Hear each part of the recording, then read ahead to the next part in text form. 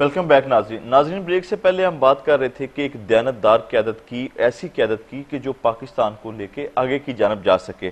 منیر احمد بٹی صاحب، یہ بتائیے گا کہ پاکستان میں باتیں تو کافی زیادہ کی جاتی قوانین بھی بڑے بنائے جاتے ہیں، لیکن حکمران اپنا جب علاج کرنا کرانا چاہتے ہیں تو یہ لندن، دبئی یا امریکہ، نیو یارک چلے جاتے ہیں۔ جب ان کے بچے پڑھتے ہیں یہ بھی نیو یارک، امریکہ، انگلینڈ، ویلز، باہر چلے جاتے ہیں۔ غرض ان کے علاج، ان کی جائیداد، ان کی ان کی انویسٹمنٹ سب باہر ہے، لیکن بدقسمتی کی بات ہے، جن کے پیسوں سے یہ حکمران، جن کے ووٹوں سے حکمران منتخب ہوتے ہیں اور ان، جن پہ یہ حکومت کرتے ہیں، وہ پاکستان میں ہیں، باقی ان کا معلومات سب بیرون ملک ہے۔ اس پہ کیا کہتے ہیں آپ؟ جو ابھی جو یہ بات ہوئی ہے کہ ہمارے جو حکمران ہیں، ان کی دلچسپی اس لیے بھی نہیں ہوتی کہ ہمارا جو ووٹر ہے، وہ فیر طریقے سے ووٹ نہیں دیتا۔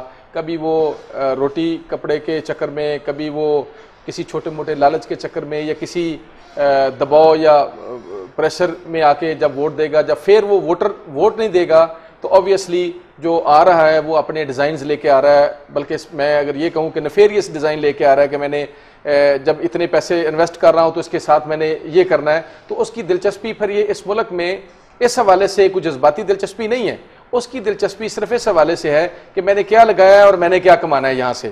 جب وہ اس ملک سے، اس ملک کا جو ہے، عوام ہے، اس کی ہڈیوں سے ساری چیزیں نچوڑ کے بیرون ملک شفٹ کرے گا، ان کے دیکھیں، آپ جو اس وقت ہمارے جو پچھلے تیس سال سے حکمران، پینتیس سال سے ہیں، آپ دیکھیں ان کے پوری دنیا میں ہر ملک میں بزنس ہیں، ہر ملک میں ان کا ان کی رہائشیں ہیں۔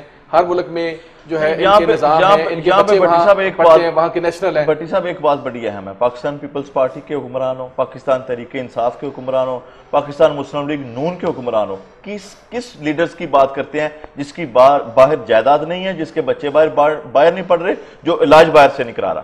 دیکھیں جی میں سمجھتا ہوں اس وقت ہماری جتنی قیادت ہے خواہ وہ اپوزیشن ہے میں ہے خواہ وہ حکومت میں ہے ساری کے سارے کے جو جو سسٹم ہے وہ بیرون ملک ہے۔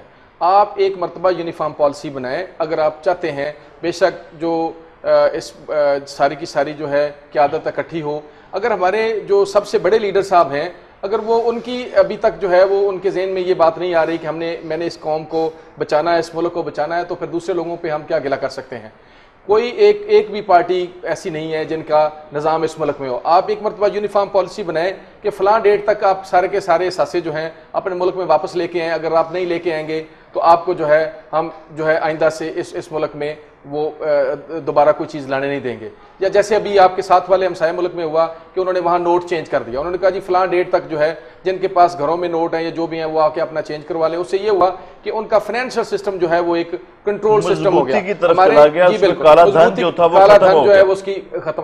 ہمارے ہماری لیڈرشپ کے پاس انفارچونیٹلی ویژن ہی نہیں ہے کہ ہم نے کرنا کیا ہے ہم نے اس قوم کو اس ملک کو آگے کیسے لے کے جانا ہے یا صرف ہم نے صرف جو ہے یہاں کرپشن کرنی ہے صرف اپنا مال بنانا ہے یا اپنے معاملات کو سیدھا کرنا ہے اپنی ذات کی حد تک ان کا ہے اپنی قوم اور ملک کے لیے ان کے ان کے ان کے پاس کوئی منصوبہ ہی نہیں ہے۔ جی بالکل آپ نے دوست کا میڈم، یہ بتائیے گا کہ یہ ویژن کی بات کی منیر احمد بھٹی صاحب نے۔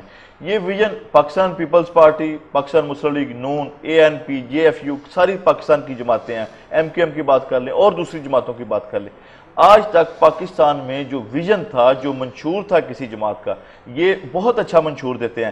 لیکن ان کے جو پچیس نکات میں سے ایک نکتے پہ بھی یہ عمل نہیں کرتے، لیکن عوام پھر ان کو ووٹ دیتی ہے۔ اس کی کیا وجہ؟ ہے میں نے تو آپ سے شروع میں ہی آپ کو کہا تھا کہ اصل مسئلہ یہیں سے شروع ہوتا ہے، کیونکہ آپ نے لوگوں کو غریب رکھا ہے، مجبور رکھا ہے۔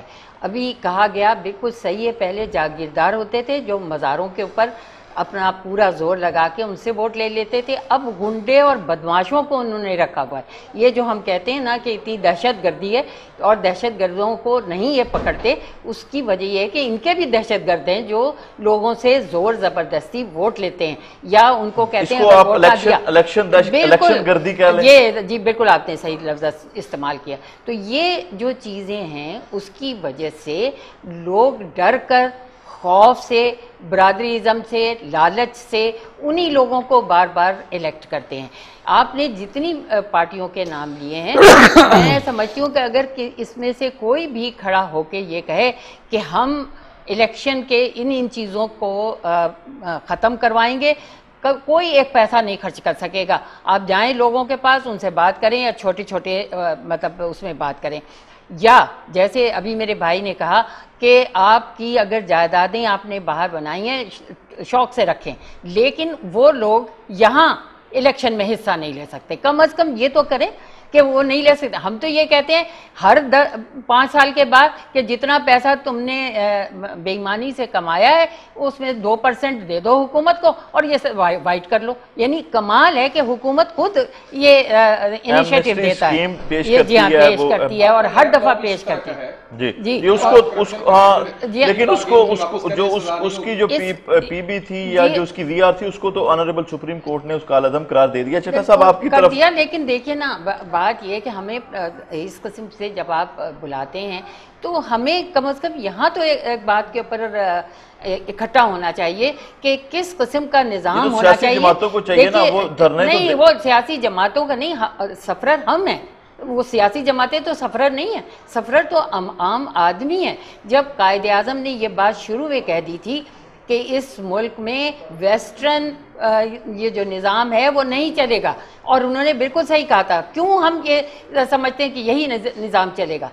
اگر اس نظام کو تبدیل کرنا ہے تو بیٹھ کر ہمارے جو قانون داں ہیں جو سمجھدار لوگ ہیں، یونیورسٹی کے پروفیسرز ہیں، ان سے پوچھیں کہ کیا طریقہ کار ہو کہ جس کے بعد یہاں کے اوپر لوگ بے ایمانی نہ کر سکیں۔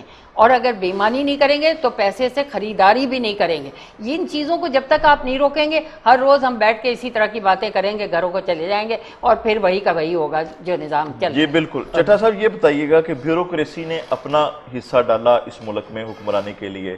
عسکری ذرائع نے اپنا حصہ ڈالا، سیاستدان خود بھی آ گئے لیکن جو تبدیلی جس کی خواہش کی جا رہی ہے قائد اعظم رحمۃ اللہ کے اصولوں کے مطابق، وہ کون لائے گا؟ کس طرح آئے گی؟ اور اس کا موجب کون بنے گا؟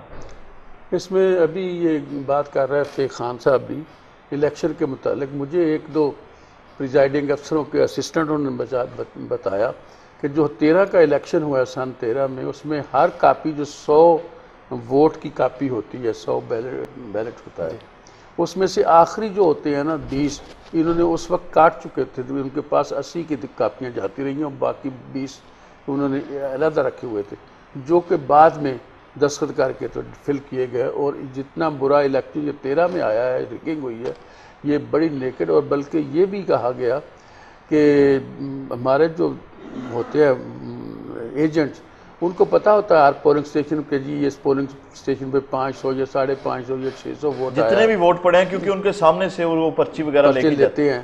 تو لیکن اگر وہ چھ سو کے سے دو سو دو چار کم یا زیادہ ہو جائے تو ٹھیک ہے۔ لیکن اگر چھ سو کی بجائے اندر چھ سو ساٹھ آ جائیں۔ نہیں اس میں اگر آٹھ سو آ جائیں تو وہ تو ساری پھر وہ ساری اس کی حیت ہی change ہو جائے گی۔ ساری چینج ہو جائے گی۔ تو باقی میں یہ سمجھتا ہوں کہ یہ چیزیں ایک آج کل انتخابی اصلاحات ہو رہی ہیں اس میں سے ان چیزوں کا بھی سدباب ہونا چاہیے۔ اور میں سمجھتا ہوں کہ یہ الیکشن موجودہ طریقہ کار جس طرح قادری صاحب کہتے ہیں کہ یہ الیکشن بالکل فضول ہیں، اگر اسی طرح ہونا ہے تو انہی لوگوں نے آ جانا ہے۔ بہرحال میں یہ سمجھتا ہوں کہ جیسا محترمہ فرما رہی تھی کہ اس طریقہ کار میں، اس قسم کی جمہوریت میں نہ تو کوئی تبدیلی آ سکتی ہے، نہ کوئی اچھی بات ہو سکتی ہے۔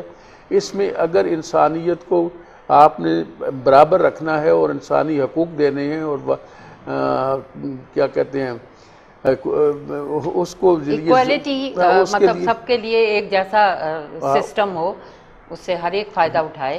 کے- بالکل اس کے لیے یہ حقوق العباد ہیں یہ حقوق العباد نبی کریم نے سب سے پہلے دیے۔ اور بلکہ سو فار کہ اللہ تبارک تعالیٰ خود فرماتے ہیں کہ میں حقوق اللہ کی خلاف ورزی تو معاف کر سکتا ہوں لیکن حقوق العباد کی خلاف ورزی میں معاف نہیں کر سکتا چونکہ وہ میری خلاف ورزی نہیں ہے۔ لہذا جب تک وہ بندہ معاف نہیں کرے گا میں معاف نہیں کروں گا۔ تو میں سمجھتا ہوں کہ اگر اتنے اعلیٰ عرفہ اصولوں کے مطابق اگر ہم کوئی کانسٹیٹیوشن یا کوئی طریقہ کار بنائے تو میں یہ میں سمجھتا ہوں کہ یہ اگر اسلامی جنکشنز پہ کوئی تھوڑا بہت بھی عمل ہوئے جھوٹ ہی نہ بولا جائے بدیانتی نہ کی جائے پیسے نہ لیا جائے رشوت نہ لی جائے تو یہ ساری چیزیں ختم ہونی چاہیے۔ اگر پاکستانی جنگ اسلامی جنکشنز پر عمل کیا جائے، اور یہ موجودہ جو ڈیموکریسی کا نظام ہے، یہ ہمارے لیے موضوع نہیں ہے۔ یہ انہوں نے ہمارے لیے نہیں، انہوں نے اپنے مطلب کے لیے، کنٹرول کرنے کے لیے یہ سارا کچھ بنایا تھا۔ تو جو قائد اعظم اگر زندہ ہوتے تو یہ سسٹم آج تک بہت پہلے کا چینج ہو چکا ہوتا۔ اور صحیح ڈیموکریسی جس میں کہ ہر بندے کی عزت، ہر بندے کا تحفظ، ہر بندے کی ذرائع کے اور وسائل پہ اس کی رسائی، یہ سب کچھ ہونا تھا۔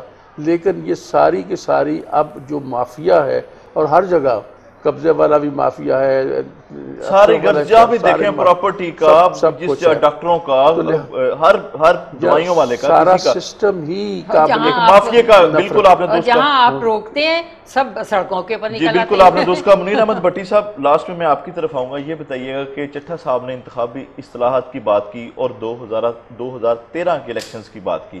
اس میں آنریبل سپریم کورٹ نے ایک کمیشن بھی بنایا گیا تھا، اس کی رپورٹ بھی آئی نو سو چودہ، نو سو چھبیس صفحات کی۔ اس میں کہا گیا کہ بے ضابطگیاں ہوئیں، لیکن باقاعدہ طور پر کوئی کوئی باقاعدہ جس کو کنٹرول یا اسپیشل ریگنگ نہیں ہوئی۔ لیکن چٹھا صاحب نے ابھی بتایا کہ وہ ایک ایک باقاعدہ طور پر، ایک سازش کے طور پر اور ایک باقاعدہ طور پر ریگنگ کی گئی۔ آپ کیا سمجھتے ہیں کہ اگر انتخابی اصلاحات کے بغیر دو ہزار اٹھارہ کا الیکشن کروایا جاتا ہے، تو کیا اس طرح کے دوبارہ کے مزمرات، اس طرح کے دوبارہ جو پاسبلٹیز ہو سکتی ہیں؟ سعید بھائی چٹھا صاحب ہمارے بزرگ ہیں، ہم دیکھتے ہیں اپنے بچپن سکول اور کالج دور سے ان کو پالیٹکس ان کی فیملی کرتے ہوئے بڑا ایک اصولوں کے ساتھ پالیٹکس کی ہے اس فیملی نے۔